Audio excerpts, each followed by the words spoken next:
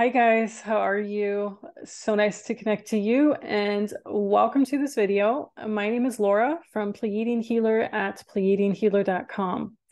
Today, I want to talk about something that's been coming up a little bit. So, I was recently asked by this person who he, she just asked me, okay, so what's the AI that you see in and around people just in general, or also during your sessions. And I was like, you know, this is a perfect topic for a video because I'm pretty sure this would be concerning other people too, or at least you'd be curious about it. So the topic's going to be what are astral entities and how do they tie into AI or into the AI that's basically all over the astral. Okay, so just to kind of get back to that person's question, there are a lot of different types of AI or astral entities that I see in people, especially during sessions, but also just in general, you know, like when you just hear news on this story, like the crazy news of people butchering another person or just you know just all the bad news that they kind of throw at you i'm like yeah that is 100% the entity possession that i already discussed in other videos or just like the negative thoughts that are taking over other people's minds which in my opinion it is a form of entity possession it's also a form of psychic attack so astral and ai for me go hand in hand because almost all entities in the astral can be considered to be a form of AI. And for me, a lot of this AI is actually run by something or someone. I don't want to say necessarily the government because that's really general, but definitely by these matrix controllers, by the elites, oftentimes by military too. So they all tie into one and the same thing because they all kind of follow this pattern and they all kind of are controlled by something or someone. There's definitely a pattern, no matter what country in the world you're in. There's just something that always ties into it, right? Like countries in and of itself actually don't really exist in that sense. It's just more parts of the world that are controlled by these different factions or call it whatever you want to call it. And some of them might be at war each, with each other. Some of them are just pretending they are. But at the end of the day it kind of all ties into the overall question who's really running this place? And that could be a whole nother video in and of itself. So just to keep this video and this matter a bit simple um, what are astral entities Okay, so um, for me, it also doesn't necessarily matter if people kind of agree or disagree with it because I've just seen too much at this point where I'm like, when people talk about these fancy ETs, these fancy aliens, all of that, which I already discussed in my other video, you know, how to not give much power to like calling in the angels, the archangels, your spirit guides, your alien guides. And if you haven't seen that video, you should definitely watch it. It's all the same thing most of it, whatever you see, in my opinion, it's grays, could be zetas, whatever. I just call them grays. Um, and these grays are really good at just looking different, you know, so they might disguise themselves as a Pleiadian guide or whatever they call it. They might disguise themselves as an Arcturian guide or the White Wing Collective of Nine or whatever people even channel these days. So this is the AI that's in the astral. This these are the astral entities. And in that sense, almost all entities in the astral can be considered AI because they're basically soulless in that sense, right? There's no soul to it.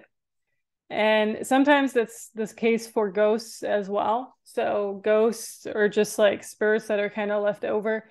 Some of these are literally just imprints of people that have long since reincarnated over and over again. And in other cases, the, these are literally deceased loved ones who just haven't passed over yet. So that's also a different story in and of itself. There are different astral entities. There's different AI that I usually see. When I do my sessions, you want to start with a simple thing. Um, you have AI or entities clinging to people. So those are the ones you want to get off because those are really the ones that could either drain your energy, kind of like the energy sucking vampires or just kind of clinging onto your energy and then you're really drained. Um, those could also be the ones that whisper certain things in your ear for you to do certain things. But that's really just for people who are very unconscious and who really don't know what's going on in their life, you know, similar to the ones who just go out to the bars and drink and are in their matrix and all of that. So there's just a lot that goes into it, but everyone could have like this form of entity attachment onto them. Call it entity attachment for the lack of a better word in this case. And those would be an astral entity or an AI entity attached to these people. So I usually see them when you go to the astral, because in these sessions, you obviously have to do that. Um, they're literally just kind of right over a person, usually, or even like in the back. Um, they're not directly on your body, but more like your energy body. So I would say they're more in your auric field, your energy field than anything. But some of it could also be very much embedded in your body. So when I see that, it's usually in the heart. It's also in a few other things. You talk about energetic parasites, which are usually like in that sacral womb area. Um, that would be like the abdominal area. It could also be like around the solar plexus, depends on the person. So you see that, and that's like literally looks almost like real parasites, just energetic parasites, like kind of like chip like things, you know, black matter or whatever. It comes through differently in different sessions. That's a form of AI or astral entity. Uh, those are very small ones, but basically the ones that kind of cling in your auric field, those are the ones that probably drain the most of your energy, I would say. Um, and then you also have the ones that kind of full on attack people. So when we're talking about psychic attacks and where they come from and you know why people just feel violated in their energy field the entities that kind of come out of nowhere and literally just attack those would be the ones like once again could be grays could be entities just disguised as something else. Uh, those would be another form of ai another form of astral entity those would not necessarily be the one you would want to have removed in the session because obviously they're always in and out but the ones that are clinging to you are the ones you want to have removed. Now what you can do against these attacks is you can build up these strong protective shields which i also discuss in my psychic protection course and other courses too. So you can do a lot of things to diminish these attacks but at the end of the day it's a regular process. It's not just something that you do one time or two times but it's just like a regular process that you have to do once a day or sometimes even a few times a day depends on your situation. So then you have the ai implants or chips. Can also be intrusions for some. And i do teach how to remove those in the course be own shaman. But basically these could be implanted by these other ai beings or astral entities they can also come from other electronics, though. So, electronics meaning when you hold your cell phone, when you hold your tablet, when you're in front of a desktop or screen all the time, that can really form some form of chip in your hand, depending on what's your dominant hand. Um, also, what I've seen a lot, and this was more a few years ago, is basically like these brain chips in people's temples. I want to say it's temples, is right here next to the eyes. So there's just a lot what they try to throw at you. And it's really just, if you just think about it, it's just mind blowing. Like everything that they come up with just to kind of really control people, distract people, get them out of their zone.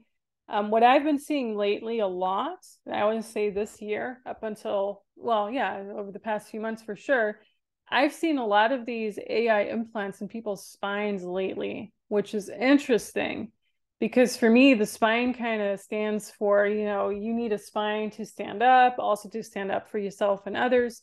So when they're putting some implants in there it's almost like they want to get rid of these people's spines or control these people's spines meaning is there a, an english saying? I know in germany there's a saying that it was someone who doesn't have a spine and that kind of translates into someone who's a pushover.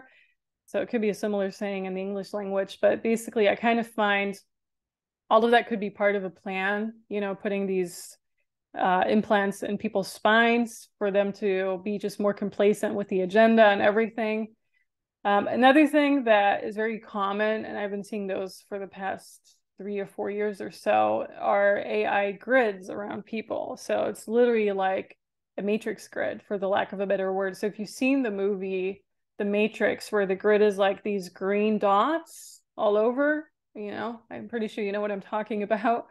Um, that would literally be around people's auric fields and I would have to remove those.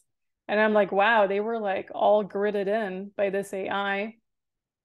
For other people, what I would see is fog. So, especially when there's a lot of brain fog or just confusion in people's lives, or you have it with EMF radiation too. If people have been polluted by EMF and EMF radiation, there could be something like a fog around it.